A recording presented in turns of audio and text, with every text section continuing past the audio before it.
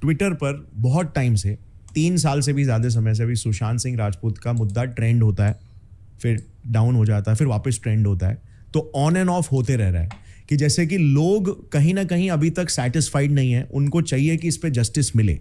और आपने तो लिटरली लाइक जब मैंने आपका वर्क पढ़ा तो आपने स्पीयर हेड किया था कैंपेन को। लाइक आपने जितना हो सके इंफॉर्मेशन अवेयरनेस फैलाया उस मुद्दे के बारे में, प्रश्न खड़े किए, ठीक है? आपके पास एक बहुत ही इंटरनल पर्सपेक्टिव भी है कि मामला असल में क्या है, जो कि कॉमन पर्सन को नहीं दिखता। आपने बिहार में, बिहार की जब पुलिस आई थी यहाँ पे तो आपने उनको भी होस्ट किया था और आप अपने तरफ़ से चीज़ों को क्लियर कर रहे थे ताकि ये केस आगे बढ़े। तो मेरे कुछ सवाल है आपसे। सबसे पहले तो ये है कि आपको ऐसा क्यों लगता है कि वो फाउल प्ले है? बिकॉज़ ओवरऑल अगर आप देखोगे तो लोग तो यही बोल रहे हैं कि यार ऐसा कुछ नहीं था वो वाकई में एक सुइसाइड ही था। तो आप क्यों इतने निश्चिंत निश्चित तरीके से बोल सकते हैं कि ये फाउल प्ले है? देखिए कोई आदमी ऐसा स्टेप लेते समय किस केस में कर सकता है? जब वो फाइनेंशियल क्राइसिस में हो? बिल्कुल। बहुत क्योंकि कोविड का समय है था। कोई आदमी नहीं सोचेगा फाइनेंशियल क्राइसिस में या उसके पास काम की कमी है पैसे की कमी करियर डूब रहा है। करियर डूब रहा है। हम्म। तो मेरे ख्याल से अगर आप न्यूज़ पढ़ेंगे तो जिस समय इंसिडेंट हुआ था उस समय सुशांत का बैंक बैलेंस करोड़ों में था। नॉट इन करोड़ करोड़ों में था। हाँ। करीब चार पाँच करोड़ रुपये होंगे। Which is a sufficient money to survive in Bombay और yes. किसी के पास ब्रांड इंडोर्समेंट होती है मूवी होती है उसके पास हर सारी चीज़ें थी। तो अगर ऐसा चीज़ हुआ है तो मैं नहीं एक जो जो आप बोलते हैं ना ट्विटर पे आवाज़ वो सारे कॉमन लोगों की आवाज़ है उनको लगता है कि फॉल प्ले है। हाँ.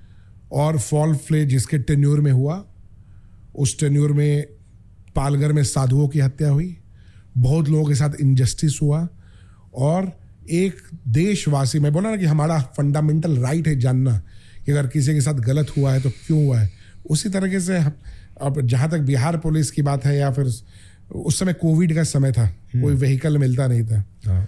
तो एज अ इंडिविजुअल हमारे स्टेट की पुलिस आई है हमको लगा तो हमने किसी को मदद किया। और मैं करता भी रहूँगा आगे की दिनों में कोई हम्म। गलती नहीं है उसमें। लेकिन आ, उसके साथ क्या हुआ है ये पूरे देश को जानने का हक है।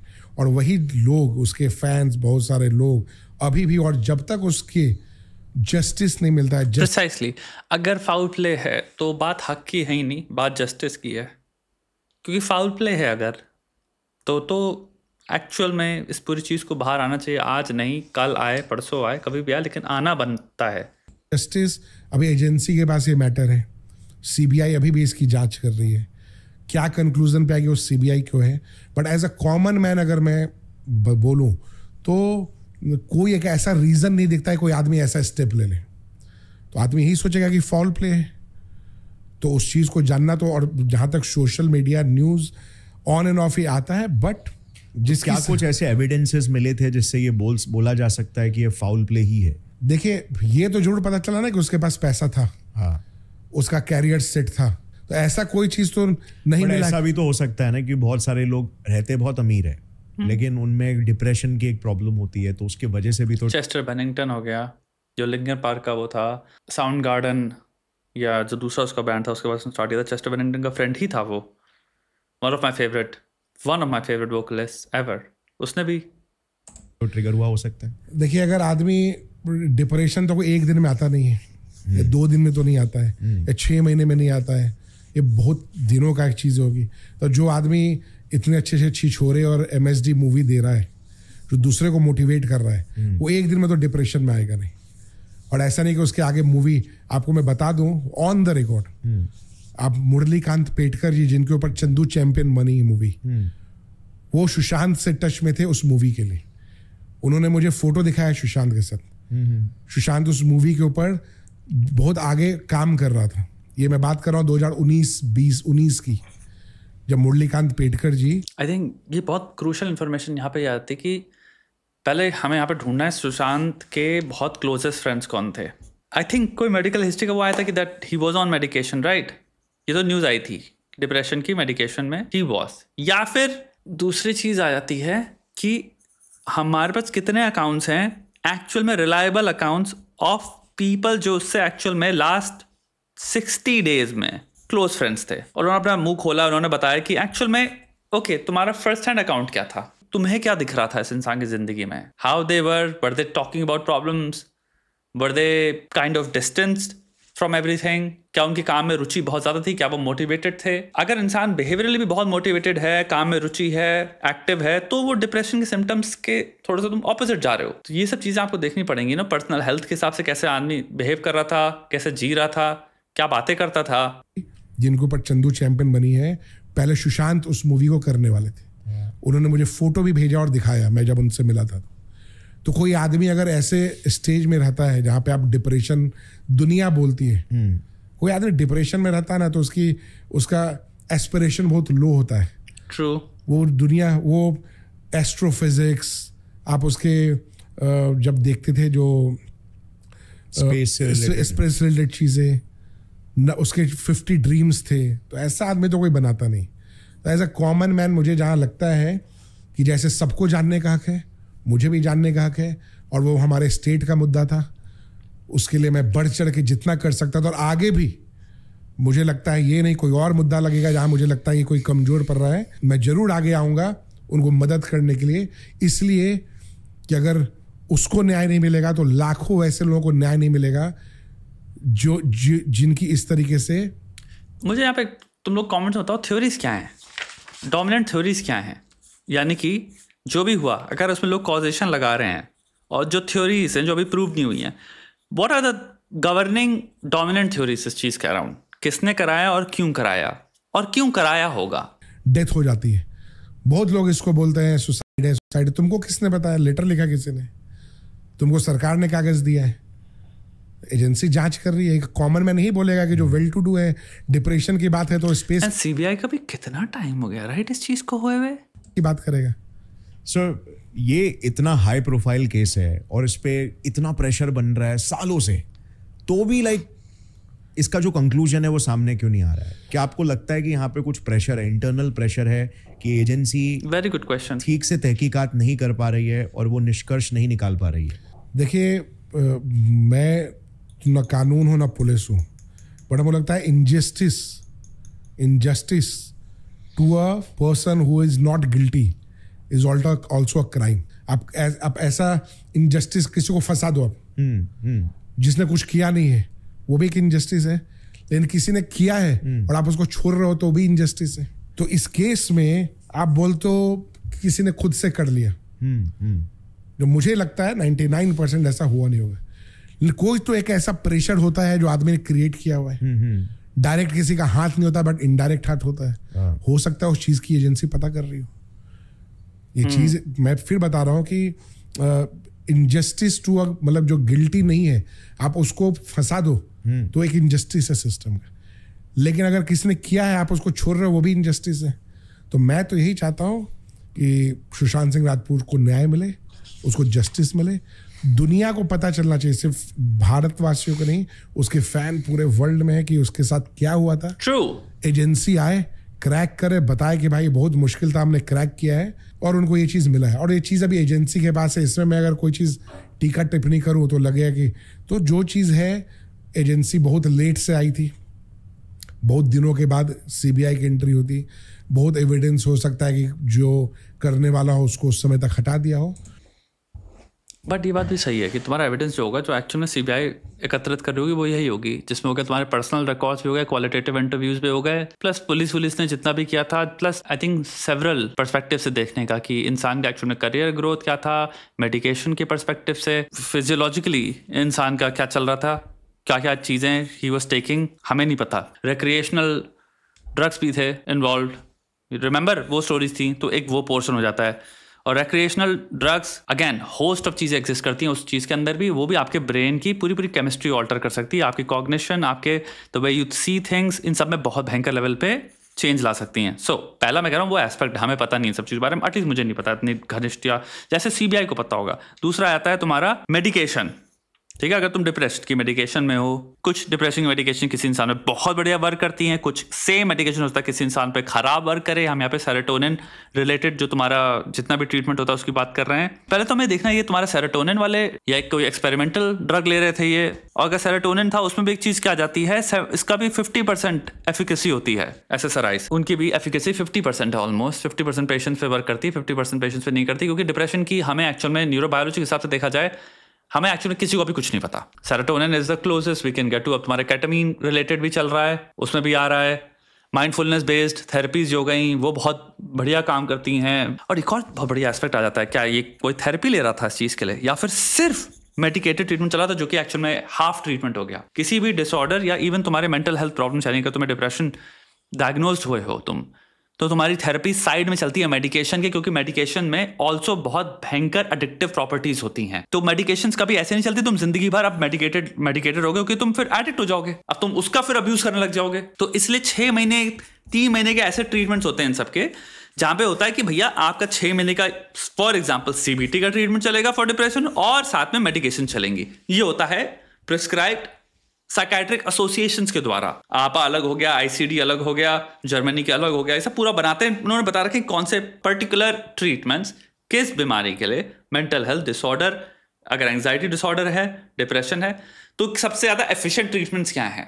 तो वो हमेशा चीज़ें दो तीन परस्पेक्टिव से की जाती हैं। द पॉइंट इज़ क्या अगर सुशांत जैसा इंसान, जो कि मैं कह रहा हूँ दुनिया के सबसे बेस्ट क्योंकि तुम बात करो पॉइंट ज़ीरो वन परसेंट लोगों की पॉइंट वन भी नहीं।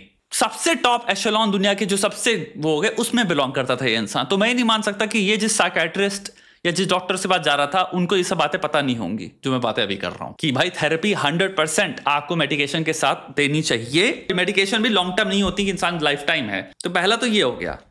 तो ये एस्पेक्ट कंप्लीटली डिफरेंट हो गया, जिसको तुम लोग को इन्वेस्टिगेट करना पड़ेगा। थर्ड आ गया तुम्हारे क्वालिटेटिव इंटरव्यूज़ विद एविडेंस कि ये नहीं कोई इंसान फालतू की स्टोरी एग्जैजरेट कर रहा हो but actual sources last sixty से वन ट्वेंटी डेज़ में जो इंसान के करीब थे, उनका अकाउंट क्या था? सब्जेक्टिव अकाउंट इंटरप्रेटिव अकाउंट होते हैं क्योंकि वो।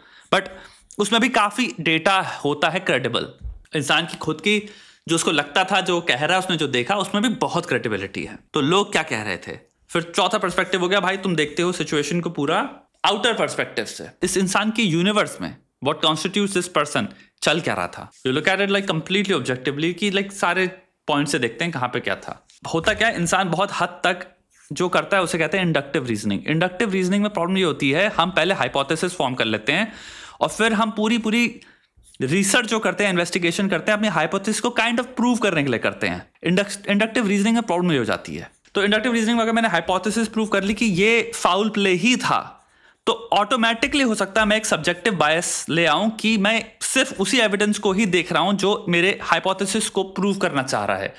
और मैं बहुत हद तक रियलाइज़ भी नहीं कर रहा हूँ इम्प्लिसिटली इग्नोर कर रहा हूँ बहुत सारे एविडेंस को जो कि हाइपोथेसिस को निगेट कर रहा है। तो बहुत तरह की जब आप गूगल पे सर्च करते हो, आप रियलाइज़ नहीं करते हो, बहुत हद तक आपकी बहुत सारी जो रीजनिंग होती है लाइफ में वो इंडक्टिव ही होती है। आप स्टार्ट करते हो एक हाइपोथेसिस आप उस हाइपोथेसिस को कंफर्म करने के लिए जाते हो। तो ये भी बहुत बड़ी चीज़ है कि आपको इंडक्टिव रीजनिंग से थोड़ा सा हटना है। आपको कंप्लीटली ब्लैंक होना है क्लीन स्लेट और फिर सारे डेटा फेंक देना चाहिए। डेटा डेटा डेटा जितना ज़्यादा डेटा आप फेंकते चले जाओ।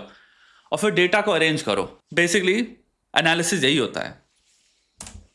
बट मुझे लगता है कि एजेंसी रिप्लाई देती है लोगों के आरटीआई का आर्टिकल्स का हम लोग इन्वेस्टिगेशन कर रहे हैं। हम्म। तो जनरली वो इन्वेस्टिगेशन कर रहे हो और एक ऐसा रिज़ल्ट दे जिससे एविडेंस के साथ सेटिस्फाई हो सके सुशांत के फ़ैन और देशवासी की भाई जो एजेंसी बोल रही है वो सही है एविडेंस के बेसिस पे।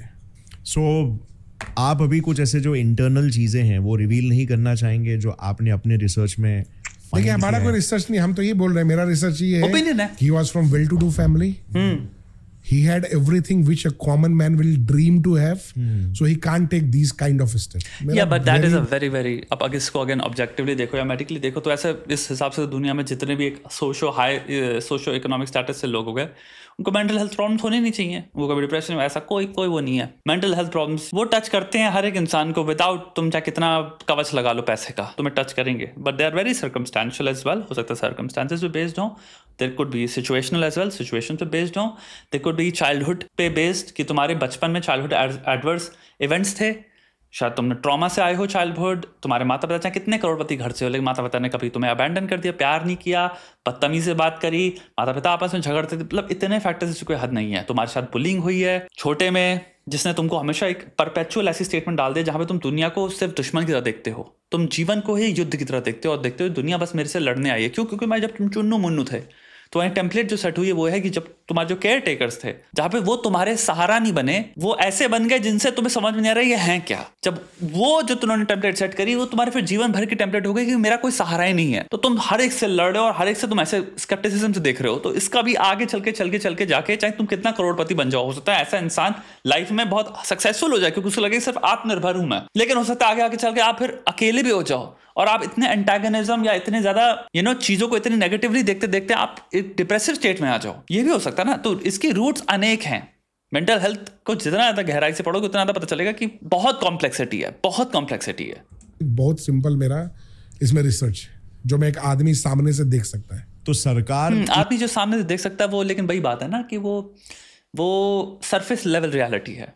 जो कॉम्प्लेक्सिटी है गहराई है जो पीछे है जो आदमी नहीं दिखा रहा जो आदमी के जीवन में घटित हुआ है। ऐसी पचास चीज़ें आदमी शायद रियलाइज़ भी नहीं कर रहा है, जो मैं हूँ, वो इसलिए हूँ क्योंकि वो जो जो पुराने इवेंट्स है, वो याद नहीं करता अब। हो सकता है वो अपनी मेमोरी से भुला चुका है। कितने लोग हैं जो कि डिनाइल में जी रहे हैं। वो चूज़ कर रहे हैं ना जानना, ना याद करना और ना देखना। क्योंकि उनको ना देखने में सुकून मिलता है। क्योंकि अगर उसको सोचेंगे प्रोसेस करेंगे, उनको लगता है अंदर क्षमता ही नहीं है डील करने की उन चीज़ों से।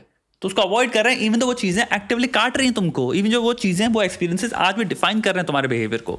इन एजेंसीज पे दबाव नहीं डाल रही कि यार जल्दी इस केस को क्लोज करो बिकॉज़ इतने सारे लोग चाहते हैं कि इसका कंक्लूजन फटफट निकले। True. मैं फिर बता रहा हूँ कि इनजस्टिस और जस्टिस सब प्रूफ ढूंढता है। अगर हो सकता है कि उनको प्रूफ हो जाता तो उसी समय किसी को वो अरेस्ट कर लेते जो कल्प्रिट है। और अगर वो किसी को पकड़ लेंगे और वो नहीं किया है तो वो भी एक इनजस्टिस है। तो एजेंसी टाइम ले रही हो तो गलत है। मैं भी बता रहा हूँ कि वो वो भी एक तरह से इनजस्टिस है उसको आगे आना चाहिए। बट टाइमली जस्टिस मिलना भी एक जस्टिस है। तो Fact. आप जस्टिस से 20 साल के बाद दोगे किसको दोगे? वही तो। उसके पेरेंट उसके फैमिली उसके फ़ैन आ, और जो इंसान अगर लेट से कोई इसने कुकर्म किया उसने अपनी पूरी एक फुल लाइफ जी ली यार। पूरी ज़िंदगी जी ली उसके बाद बचा ही क्या? चार से 2020 से लेकर अभी 24 आ गया है वो भी 24 का भी अगस्त आ गया है चौंतीस हो जाए। पहले बोलते हैं सरकार पंचवर्षीय योजना पे काम करती थी पाँच साल का। हाँ। एजेंसी को वैसा वैसे ही योजना पे नहीं होना चाहिए। एजेंसी छह महीना एक साल बहुत समय होता है। बिल्कुल बिल्कुल। नहीं तो आपकी वो इनएफिशिएंसी को दिखाता है। सो so, हमारे सिस्टम में तो ये चीज़ कॉमन है कि जैसे हमने बात किया था यूपीएससी का भी हमने बात किया था स्टेट एग्ज़ाम्स और ये सारी चीज़ें। पेपर लीक्स हो जाते हैं, अंदर मालूम पड़ जाता है कि करप्शन बहुत ज़्यादा है। और आपने ये स्टैंड रखा कि गवर्नमेंट चाहती है कि ये एजेंसीज ठीक से काम करे बट अक्सर रूट लेवल पर कुछ करप्ट ऑफिसर्स अपने फ़ायदे के लिए यू नो वो ये चीज़ों को नज़रअंदाज कर देते हैं, एक ऑनेस्ट तरीके से काम नहीं करते तो अब क्या ऐसा हम नहीं कह सकते कि इन एजेंसीज के साथ भी हो रहा हो सकता है, और वो जानबूझ के चीज़ों को दबा रहे हैं या स्लो डाउन कर रहे हैं? ताकि मामला ठंडा हो जाए और फिर आठ दस साल के बाद तो लोगों को वैसे I, भी नहीं आई थिंक वो टाइम ऑलरेडी आ चुका है। गौरव भाई I think people really have moved on let's be very very real आपने ये वीडियो बनाया आप बात कर रहे हो उसके बारे में बट एक जनरली बात देखो इसकी पुकार कहाँ है? किसको फ़र्क पड़ रहा है? कौन पूछ रहा है? सब मूव ऑन कर चुके हैं। बोल रहा हूँ इसमें कोर्ट को इंटरवेन करना चाहिए। जब कोई चीज़ टाइमली देखिए जब आप टाइम से अगर जस्टिस कोई भूखा है और आप मर गया उसके बाद आप उसको खाना दोगे हाँ। वो खाना किसी काम का नहीं। किसी काम का नहीं तो बोलने का तात्पर्य है कि सरकार के ऊपर भी कोर्ट होता है। सरकार के कुछ मुद्दों पे कोर्ट खुल के सामने आता है। डायरेक्ट जजमेंट मतलब डायरेक्ट उसको अपने संज्ञान में लेता है। तो एक कोर्ट को इसमें ये होता है इंटरवेन करके आप एक बनाए कि कोई केस अगर आ गई है आप उसको सौ दिन के अंदर एक साल के अंदर दो साल के अंदर कंक्लूड करो। यानी कि अगर आपको नहीं मिला तो आप उसको दस साल बीस साल पचास साल कितने साल?